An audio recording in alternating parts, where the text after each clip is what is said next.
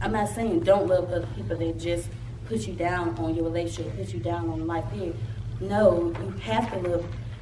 I mean, love is the greatest that you have of all because God gives us love. God brings love to us. So that's what He's saying.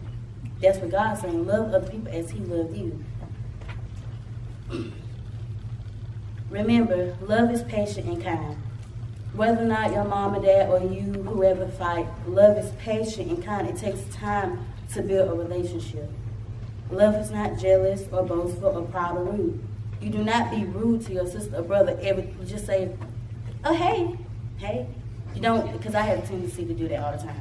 You don't do that because you will build anger and negativity, and that's not. You're gonna get stuck on that anger and negativity, and that's not gonna give you a good outcome in life. It does not. It does not demand its way in. Its own way, basically saying its way in. If you do not have a boyfriend or a girlfriend or a wife or husband, you do not demand that to come towards you. Just say you see everybody named mama.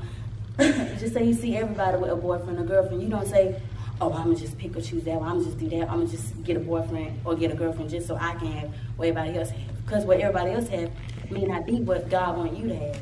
That's why it says love is patient and love is kind. You have to wait on God to bring you who He wants to have toward for you. We will basically be nowhere because if God can send His Son to die on the cross, like everyone says, that's love.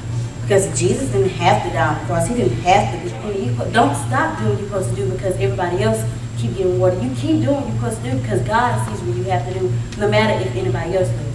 If you don't have a boyfriend or girlfriend right now, you can give all that time you have right now and just give it to Him. Serve Him. You cannot know how to love somebody if you don't know how to love God.